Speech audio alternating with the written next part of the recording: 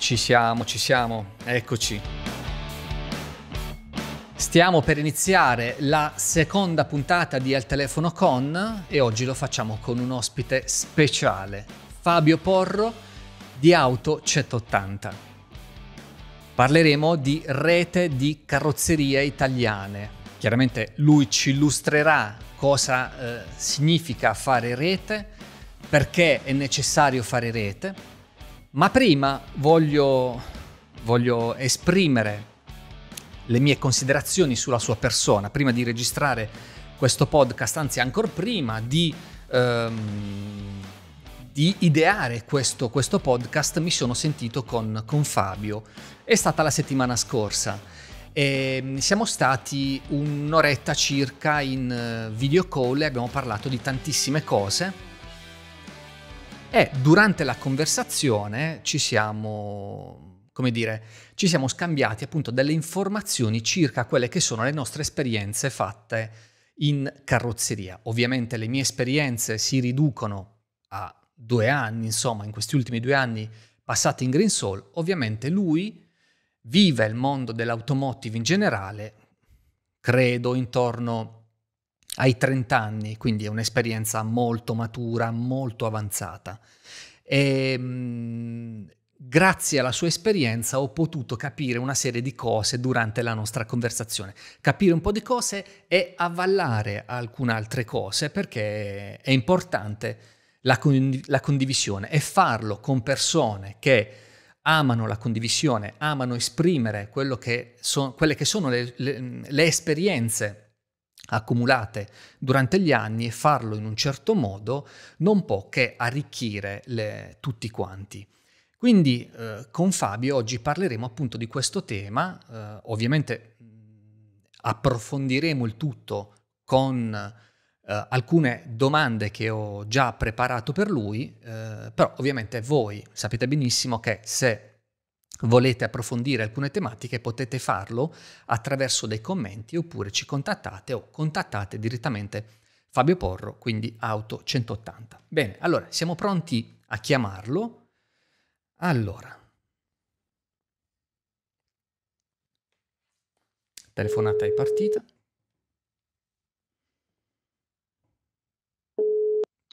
Sì, pronto. Buonasera Fabio, sono Francesco Green Soul. Buonasera Francesco. Benvenuto, benvenuto nel nostro podcast, nel nostro show al telefono con.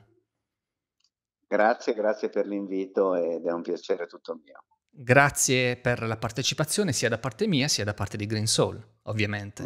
Ringrazio tutto il team Green Soul, eh, ringrazio Pasquale e Martina che hanno fortemente voluto Francesco questo momento di confronto. Assolutamente sì, è vero. Infatti poc'anzi mm facevo mm, riferimento alla nostra conversazione avvenuta circa una settimana fa, una video call durata un'oretta, attraverso questa conversazione ho potuto, dicevo che ho potuto conoscere meglio i tuoi pensieri e quindi ci siamo confrontati su alcuni, alcune questioni, ecco. Non ho affrontato i vari temi, lo faremo magari più avanti, però accennavo appunto a questa conversazione che noi abbiamo avuto la settimana scorsa. Sì, sì, molto piacevole devo dire perché abbiamo spaziato su più cose. Assolutamente sì. Allora, io inizierei con la domanda classica che faccio a tutti, fa, faccio e farò a tutti gli invitati di, in questo podcast eh, affinché vi possiate presentare con la vostra voce e con il vostro curriculum, con la vostra esperienza. Quindi inizio con la domanda fatidica. Chi è Fabio Porro? Beh, te la riduco a sintesi. Il, il mio percorso professionale nell'ambito del settore automotive nasce 30 anni fa, eh, dove mettevo a, a, a, sintesi e portavo a sintesi tutta una serie di attività che stavamo facendo su alcune strutture del settore auto. E così costituimmo a Varese e poi in Lombardia un primo consorzio di carrozzerie, officine, gommisti e quant'altro. Da lì quell'esperienza mi ha insegnato due cose sostanzialmente. La prima che i consorzi era difficile poterli fare operare in un ambito di regole, di attività e di comuni obiettivi e l'altro che comunque l'aggregazione già allora aveva un'utilità enorme. Da lì nel 97 ho costituito una società mia di consulenza esclusivamente per il mondo auto che nel 2000 ha portato alla, alla, nascita del Club dei 100 che è stata forse la prima vera rete importante in ambito nazionale. Poi le cose hanno proseguito in altre esperienze fino ad arrivare mh, a, ad oggi, a quattro anni fa, quando nasce Auto 180 e prendo l'incarico di direttore generale di questa struttura seguendone lo sviluppo strategico e le attività di relazione con i grandi committenti e comunque con il mercato. Certo, certo, fantastico. Quindi hai parlato di Auto 180, ti chiedo a questo punto di raccontarci quella che è la vision e la mission di Auto 180. Ma Auto 180 ha come obiettivo la centralità per il professionista carrozziere, ovvero noi ci siamo resi conto che nel mondo oggi e nel mercato più in generale la carrozzeria è destinata a svolgere un'attività di contoterzismo puro dove qualcuno detta delle regole, queste regole diventano poi eh, contratti a, ai quali adempiere. Mm, infatti. Noi abbiamo fatto una scelta, la prima di non essere nemici di un mondo che per noi è estremamente importante, che è quello dei grandi committenti, flotte, assicurazioni, costruttori auto, concessionarie, e dall'altro garantire attraverso tutta una serie di standard di processo e gestionali, garantire che le carrozzerie partecipanti al progetto Auto 180 siano qualificate secondo dei parametri ben precisi e questo ci porta ad avere sul mercato un certo tipo di eh, risultanze. La prima e non ultima è che oggi noi non abbiamo accordi attivi se non con delle flotte, ma non, non, che non siano di rilievo, cioè non li abbiamo mai cercati in maniera così assidua perché la prima regola nostra era dobbiamo omogenizzare i nostri comportamenti per essere sempre meglio qualificati. A quel punto ci presenteremo al mercato. Brevemente l'esperienza con le flotte con cui collaboriamo è un'esperienza che sta dando ottimi risultati, le carrozzerie rispondono bene, eh, le aziende di riferimento stanno lavorando molto bene, quindi vuol dire che la cosa funziona. Quest'anno lo stiamo dedicando all'apertura al mondo assicurativo e quindi stiamo lavorando per cercare di portare a casa sotto il profilo contrattuale valore aggiunto per le carrozzerie, restituendo contenimento di costi e qualificazione in authority da parte della gestione di sinistri. Difatti la, la, la, la domanda che ti volevo fare un po' l'hai anticipato, cioè cosa sta facendo in questo momento Auto 180 e quali sono quindi i progetti in corso?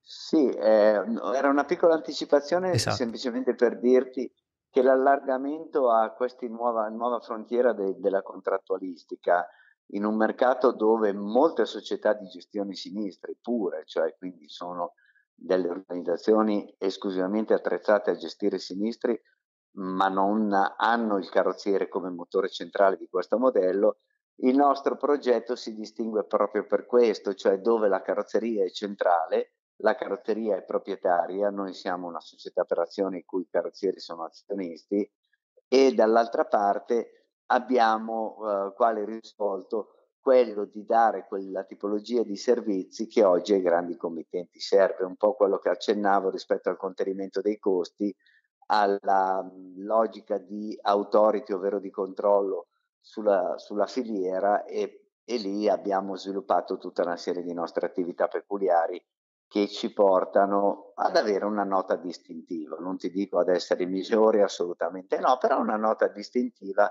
che caratterizza questa, questa azienda e quindi questo ci fa onore, dall'altra parte ci impegna sempre di più a garantire risultati importanti. Ehm, nella nostra conversazione eh, parlavi di alcuni contatti, tavoli tecnici che stavate, state organizzando, avete organizzato, non so, oppure sono dei progetti sì. a seguire. Ma noi stiamo lavorando molto in due enti. Eh, il primo è CUNA, che è la Commissione di Unificazione Normativa nel settore auto, è là dove si fanno le norme tecniche, quindi metti da una legge di settore e ne discendono delle regolamentazioni, Cuna lavora su queste regolamentazioni, Lavo- è società del gruppo Uni ed è, è strettamente collegata al, al Ministero dello Sviluppo Economico. Lì noi siamo in Commissione 14, quella che si occupa di assistenza tecnica e, e circolazione stradale, stiamo lavorando su tre livelli, le qualificazioni professionali, le attrezzature obbligatorie e le garanzie sui lavori. Poi col Politecnico mh, di Torino, col progetto Standard Testing, stiamo sviluppando anche qua eh, tre cose importanti. La prima, un processo di asseverazione e qualificazione delle carrozzerie che abbia delle caratteristiche riconosciute. La seconda, un percorso formativo che abbia quale accezione importante la valorizzazione e la verifica delle competenze all'interno della carrozzeria e la terza, quella a cui noi abbiamo spinto di più perché questa è una delle nostre cose che fin dall'origine abbiamo eh, messa lì come valore aggiunto, è la carta identità del veicolo, ovvero una documentazione che vada a mh, certificare, a mh, tracciare tutto quello che è dall'ingresso all'uscita dell'auto, comprese tutte le attività correlate a questo tipo di analisi eh, e controllo. Ti faccio questa domanda, visto la, che hai accennato alla carta d'identità del veicolo, in forma digitale, cartacea, come funziona? È assolutamente digitale perché col cartaceo saremmo da un lato un po' arcaici, ma questo può mm. essere anche irrilevante, ma dall'altro il controllo sarebbe veramente immane.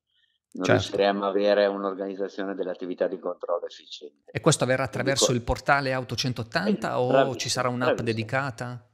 No, eh, lo faremo attraverso il nostro portale e lo svilupperemo nella parte di carrozzeria che, che entreranno facendo tutta una fase di addestramento e di coinvolgimento delle stesse, quindi portandole a essere anche innovative in un processo di digitalizzazione di cui anche questo settore ha bisogno. Eh, questa cosa mi piace molto, mi piace molto. allora, sì, anche a noi devo dire che è forse l'impegno più importante. Eh beh, infatti, assolutamente sì.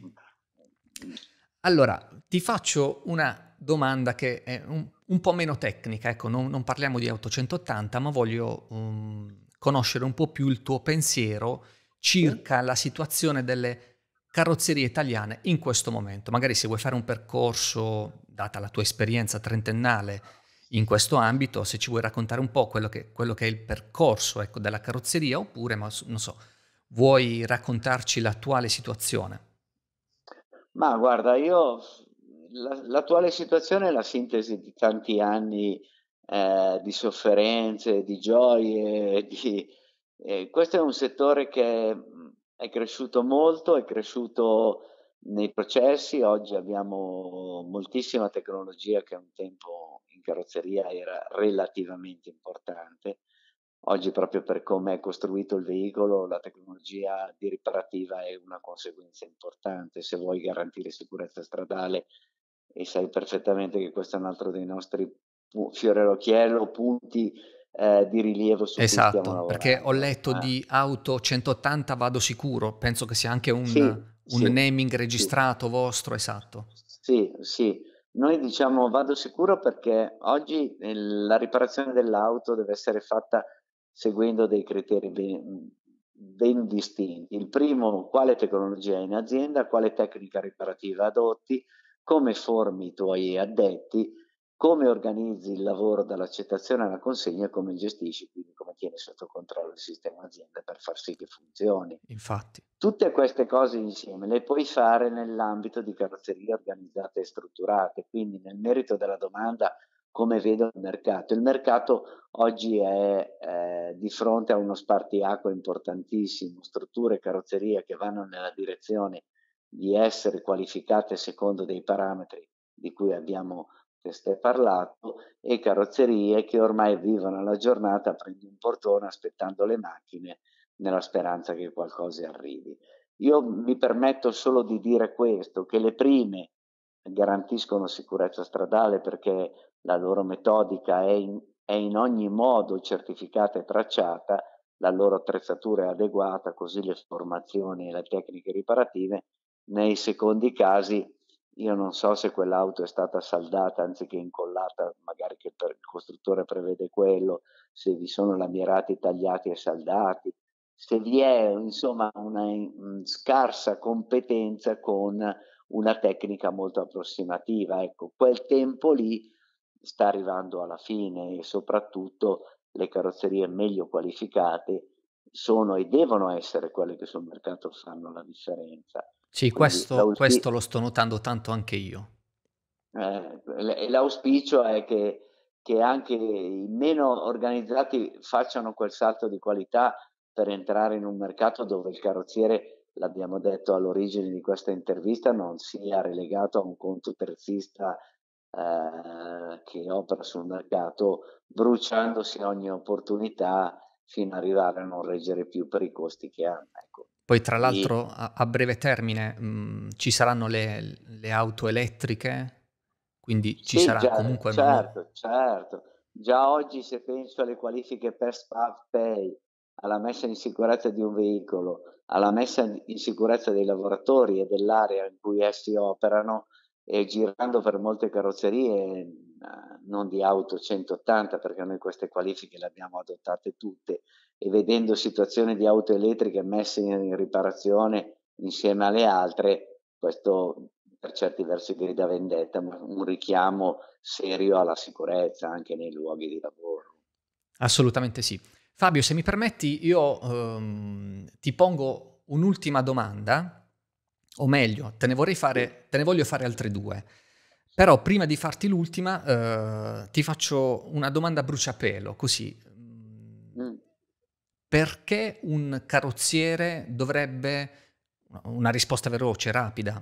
Sì, sì, so sì. che c'è tanto da dire e tanto da argomentare. Perché un carrozziere eh, deve, dovrebbe avvicinarsi ad Auto 180? Perché in questo luogo troverebbe tanti colleghi con cui confrontarsi su modelli di crescita comuni Te la dico così perché è proprio lì la crescita e lo stimolo a vedere nel collega un elemento di valore e questo collega vederne in un altro un altro elemento di valore. Cioè quindi è un concatenarsi di, di approcci e di crescita vista la tanta formazione che facciamo, i tanti incontri, eh, i, i, le tante web chat che abbiamo fatto eh, nei periodi meno belli di questo, di questo triennio ma devo dirti che quello è il modo più serio per crescere, cioè quindi elevarsi a modello di confronto. Se certo. dovessi dirtela male, dovessi dirtela male, noi vorremmo rappresentare l'università del mondo della carrozzeria, cioè qualcosa che ti fa fare a step degli esami e alla fine rende il tuo curriculum migliore rispetto a chi questi esami non li ha fatti. Ecco, questo è un pochino il eh, senso. Eh, questo è, un, alt- questo è un, altro, un altro bel progetto. Eh, sì, Mo- molto, sì. molto, interessante. Che poi tra l'altro, se, se mi permetti, fare rete no, non dovrebbe spaventare perché noi comunque da sempre facciamo rete, magari lo facciamo inconsapevolmente, ma lo facciamo ogni volta che ci eh, confrontiamo con un altro professionista o magari ci pongono la domanda circa, che so, eh, ci chiedono ovviamente faccio un esempio in questo momento, eh, che ristorante mi consigli piuttosto che, che in bianchino mi consigli, anche quello è fare rete, ma in questo caso, chiaramente visto che stiamo parlando di, eh, di carrozzerie italiane, fare rete significa essere più uniti, far parte di un gruppo e far parte di un gruppo con eh. persone formate in un certo modo, che hanno determinate qualifiche, quindi di conseguenza non confondere, non fare, eh, non confondersi appunto con, con il caos che si è generato anche attraverso l'utilizzo eh, di internet, quindi l'informazione sui social, ovunque, quindi si crea anche un, qualche tipo di caos. Ecco, permettimi questo, questo termine. Ah, eh, sì, condivido appieno, condivido appieno. Mm, posso solo aggiungere che purtroppo l'individualismo in Italia mh, mm, la fa da padrona. Eh sì, la fa da padrona perché eh, ancora troppi pensano di potercela fare da soli e di essere gli unici. Noi questo lo rifiutiamo un po' come concetto perché è importante che io abbia una relazione, un confronto con uh, persone che, e aziende che come me vogliono operare in un sistema diverso. E, e, e, l'Italia tu accennavi alla ristorazione, che è uno dei tanti esempi, potrei parlare del design, dell'enogastronomico. Sì, certo, io ovviamente. Che che, io che sto a Milano, se volessi andare a mangiare alle 3 del pomeriggio perché magari ho avuto degli impegni, un ristorante qualsiasi non accetterebbe, dovrei andare a mangiare in uno dei tanti fast food che mi permette di arrivare, aprire un computer e collegarmi e nessuno mi chiederebbe nulla. Da noi sarebbe impossibile. Quindi non entriamo nella qualità del, del cibo, eh. sto parlando no, di, ci mancherebbe. Una, di, di una dinamica, sto parlando di una dinamica legata a che cosa faccio io per far sì che venga riconosciuto come diverso. Ecco, anche noi dovremmo rappresentare questo tipo di diversità e quale carrozzerie dovrebbero trovare all'interno quella disponibilità per poter essere poi un gruppo aggregato reale. Eh, è lì il grande sforzo che stiamo compiendo e devo dirti che eh, ovviamente facendo anche tanti errori, ma sempre in buona fede, eh, stiamo crescendo anche da questo punto di vista. Ti faccio un piccolo esempio. Sì. Noi al sud non abbiamo una grandissima realtà di presenza di aziende, siamo in 94 in Italia, al sud ne abbiamo 9, però eh, sono tutte molto grandi, molto organizzate. A noi piacerebbe avere uno sviluppo completamente diverso nel sud Italia perché alcune dinamiche proprio dal sud verrebbero accelerate, avrebbero un riscontro e una risonanza maggiore che farle a Brescia piuttosto che a Padova. Ecco. Quindi su quello... Sono d'accordo puntiamo, su questo. Puntiamo moltissimo per quello che ci riguarda a sviluppare anche la rete nel sud Italia che mh, al di là delle bellezze paesaggistiche, ma questa è un'altra storia. ma, ma di fatti, guarda, o... questo podcast, questa eh. conversazione, eh. Eh, mi auguro possa servire per sensibilizzare qualcuno. Eh, me lo auguro anch'io e, e da questo punto di vista siamo molto, molto disponibili e aperti ad accogliere. Tu sai, credo si possa citare che abbiamo una, una persona, una carrozzeria di riferimento che è quella di sì, Massimo puoi, Lanza, certo, che sì. si chiama Massimo Lanza di Brindisi, Lanza Repay Center, eh, che Pasquale De Anna, che Green Soul e tutto lo staff, eh, voi state lavorando molto bene, quindi siete un riferimento Confermo. per noi molto ma molto importante perché siete un'interfaccia unica ed esclusiva mh, che, che, che, si ha sul mercato. Quindi eh, Massimo, Green Soul, eh, spero che ci sia la possibilità di aprire, di aprirci anche all'orizzonte area Sud Italia e fare un grande lavoro insieme. Ecco. Assolutamente sì, assolutamente sì. Um, Fabio, Autopromotech, so che sarai lì. Sì, sì, avremo uno stand da più di 100 metri, l'abbiamo proprio in virtù di quello che ci siamo detti oggi, eh, sulla scorta delle nostre esperienze, l'abbiamo aperto. È una piazza, è una piazza dove incontrarsi, dove confrontarci, faremo momenti di dibattito e di discussione, eh, anche un po' più gogliardici, momenti eh, comuni e un po' più ludici, insomma, però il concetto è quello di rendere questa piazza una, un momento di confronto, un po' come la Gorà greca nella quale ci si metteva e, e si discuteva, sì, sì, e si esatto. discuteva, e si discuteva. Questo lo vorremmo ripresentare in questo luogo che ad Autopromotec stiamo per allestire perché 25-28 maggio saranno le date di, di presenza alla fiera. Fabio, se qualcuno vuole contattare, eh, Auto 180 vuole contattare te, mh, mm, puoi lasciare uh, dei recapiti, qualcosa? Sì, può, può mandare a info-auto180.it oppure fabio.porro-auto180.it. Perfetto, Quindi, perfetto. Grazie. sono io a ringraziare voi, siete stati veramente molto bravi. Io di certo ho conosciuto un professionista eh, con cui sicuramente scambierò altre, altre video, videochiamate, ci scambieremo un altro po' di informazioni, senza ombra di dubbio. Più che volentieri, grazie. Grazie mille per tutto, a presto. Un saluto, un saluto a tutti. Ciao a tutti. Fabio, buona ciao, serata. ciao. ciao. ciao. Bene ragazzi, allora di cose ne abbiamo dette anche oggi, ci sono un po' di, di, di informazioni che vi abbiamo dato con Auto 180 attraverso il bravissimo Fabio Porro che ripeto ho, ho trovato in lui una... ho riscontrato una certa sintonia, quindi Si può parlare tranquillamente, è una persona molto molto aperta e, e il discorso di, di, di, fare rete, di fare rete con le, con le carrozzerie secondo me potrebbe essere una, un, un, servizio in più, ma più che servizio, avere una competenza in più. Ecco, avere una competenza in più oggi è una cosa molto importante. L'abbiamo parlato con internet, purtroppo ci sono tante informazioni in rete. È bene, rete inteso web, è bene che certe informazioni eh, devono essere scambiate con professionisti del settore e in quel caso quel tipo di informazione ha un valore sicuramente maggiore. maggiore. Ehm, se volete potete commentare, scriverci, ragazzi come sempre tutti quanti avete la possibilità di partecipare a, questo, a questo podcast perché è un podcast aperto a tutti, tutti quanti hanno la possibilità di dire la propria. Grazie ancora a tutti e ciao!